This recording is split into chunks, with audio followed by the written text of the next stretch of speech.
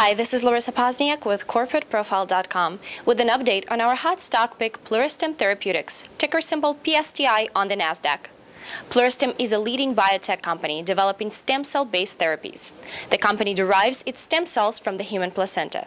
These are non-embryonic cells and therefore they're not controversial. The company's main technology is their PLX cell therapy, Ray Dirks research recently reiterated its buy recommendation of Pluristem PSTI at $2.76 per share. RayDirk states in his report that there is a market misperception with Pluristem, which is creating a buying opportunity. He cites recently announced exclusive license agreement with United Therapeutics, a $3.2 billion market cap company. Under the terms of the agreement, United Therapeutics will make an upfront payment of $7 million to Pluristem.